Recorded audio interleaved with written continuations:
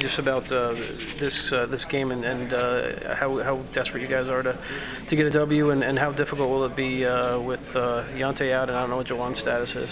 Uh, yeah, I mean it's difficult. You know, we faced some adversity, some disappointment last game especially.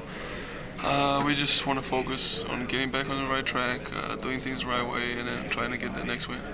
What does it mean without Yante uh, in terms of uh, is that more more minutes that you're going to have to you can't get in foul trouble probably right or else I guess you got to lead on Kessler right? Yeah, well, me and Marcus we have to step up and, and, and uh, control ourselves on defense and uh, just play hard. And when you play hard, usually things take take care of themselves. But uh, Houston is there to, to, to help us from the bench and, and also hand hopefully.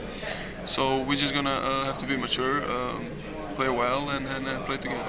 Uh, you've lost a couple times at Vandy. What, what, do you think of that raised court and, and benches on the end and all that stuff? Well, it's, it's uh, different, you know, different environment, environment to play in, but it also makes it fun.